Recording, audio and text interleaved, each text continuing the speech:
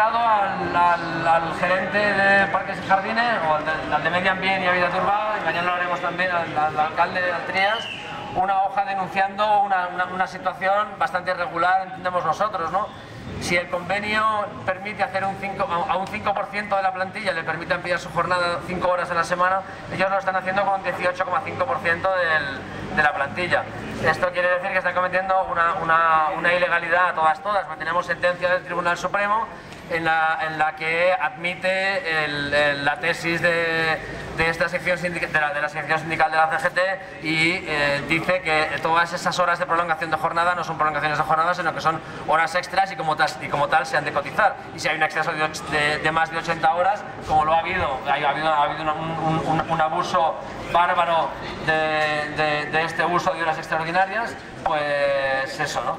Eh, este, estas 40 horas ha, servido durante los últimos años para premiar a jefes, jefecillos y jefazos que, que, trabajan en nuestro instituto y que se están llevando un sobresueldo ¿no? por realizar o por no realizar estas 40 horas. En algunos casos hay administrativos que sí que realizan esas 40 horas o algunos técnicos, pero en otros casos no. En verano, por ejemplo, que el ayuntamiento eh, hace jornada de 8 a 3, solamente hay esa jornada, no se permite hacer tardes ni se permite ampliar la, jornada, ellos no amplían la jornada y siguen cobrando como si estuvieran haciendo esas 5 horas semanales extras y, tal. ¿no? Todo este tema lo estamos denunciando, esto tiene un nombre ¿no? que, es prevaricación.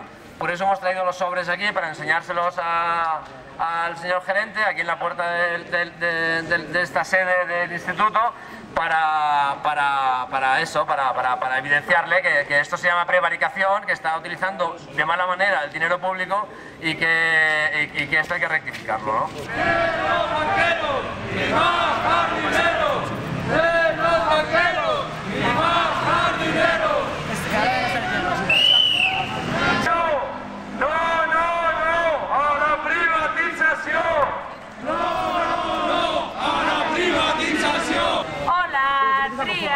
Som les jardineres i volem ocupació.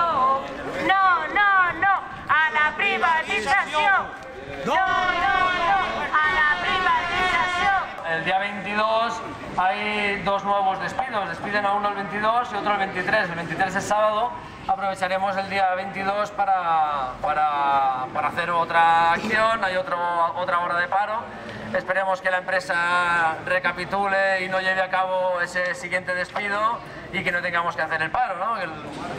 que es lo que nos gustaría a todos, ¿no? Que, no despidieran al siguiente, ¿no? como, como se le ha pedido a, la dirección de la empresa que no despidiera al compañero Josep que trabaja en Ciudad Meridiana, se le ha pedido a la empresa que no lo despidiera, si estaban de acuerdo en continuar con los contratos de relevo, no les costaba nada dejar de despedir a esta persona, sin embargo, continúa el chantaje encima de la mesa de, cara a, forzar al comité a una firma global de convenio eh, con el chantaje de que siguen habiendo despedidos y de que, y de que estamos en esta situación.